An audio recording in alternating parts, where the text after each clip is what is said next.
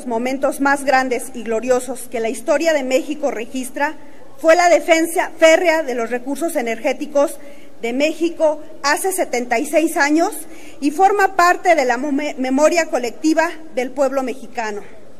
Hablar con sentido de responsabilidad de la industria energética en México es tener conciencia de la importancia de un sector considerado estratégico por los beneficios potenciales que brinda en lo, económico, en lo político y en lo social. En ese contexto, me permito presentar a consideración del Pleno las siguientes reservas. Los hidrocarburos son recursos no renovables y su explotación debe hacerse en forma eficiente. En los últimos años, diversas acciones irresponsables han ocurrido en la extracción del petróleo y gas en el país, dañando algunos yacimientos petroleros y afectando el medio ambiente y la salud de la población. Por ello, se propone como reserva incorporar en el artículo primero que los órganos reguladores tengan también por objeto la visión de fortalecer las finanzas y la producción responsable de los hidrocarburos del Estado mexicano.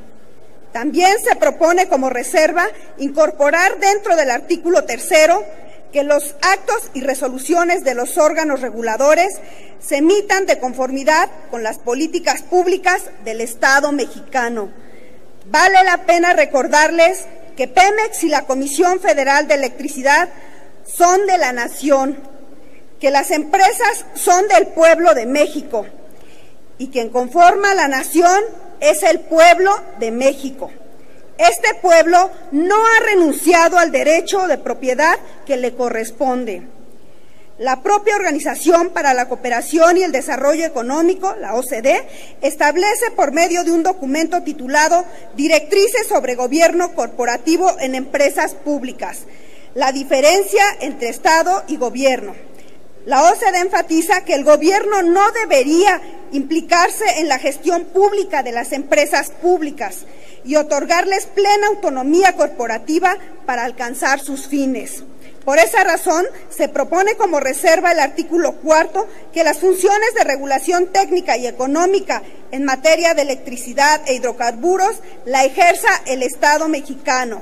En síntesis, las reservas que hoy propongo se relacionan con los siguientes puntos críticos. Primero, las compañías petroleras transnacionales serán dueñas del petróleo a través de varias modalidades, de contratos y de licencias. El desempleo aumentará porque Pemex y la Comisión Federal de Electricidad serán desplazadas por empresas extranjeras, como ocurrió hasta inicios del siglo XX. Campesinos e indígenas serán despojados de sus tierras para entregárselas a las grandes firmas internacionales.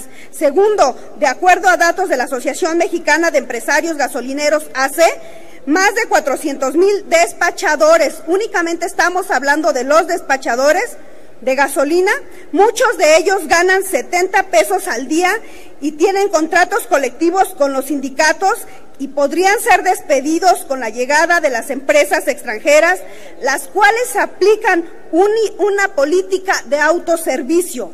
En la actualidad son dos millones de mexicanos, contando a las familias que dependen de los despachadores. Tercero, especialistas del Centro de Investigación para el Desarrollo argumentan que aún quedan vertientes en la ley de los entes reguladores, ya que estos podrían verse minimizados por las constantes intervenciones del Gobierno federal a través de la Secretaría de Hacienda y Crédito Público, por lo tanto, continuarán permeando los criterios eh, políticos. Y cuarto, será difícil que la Comisión Reguladora de Energía fomente la eficiencia del sector eléctrico si no puede fijar las tarifas eléctricas que pagarán los hogares. Ante los oídos sordos, la pregunta es, ¿qué sigue después de la reforma? Lo que sigue es la petición por parte de la izquierda, de la sociedad que ama México y de organizaciones civiles de la realización de una consulta popular para el próximo año. Concluyo, señor presidente. Esta forma de democracia directa constituye un camino real, legal y democrático para, que la sociedad trate de revertir la privatización de la industria petrolera y de la energía eléctrica.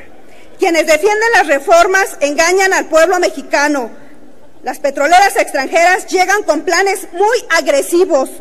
No llegarán a negociar, llegarán a rematar. Concluyo con una frase cuya autoría es del escritor, cronista y periodista Galeano. ¿Hasta cuándo los países latinoamericanos seguiremos aceptando las órdenes del mercado como si fueran una fatalidad del destino? ¿Hasta cuándo seguiremos implorando limosnas a los codazos en la cola de los suplicantes? ¿Hasta cuándo seguirá cada país apostando al sálvese quien pueda? ¿Cuándo terminaremos de convencernos de que la indignidad no paga? ¿Por qué no formamos un frente común para defender nuestros precios? ¿Por qué no hacemos frente juntos a la deuda usurera? Es cuanto, señor presidente.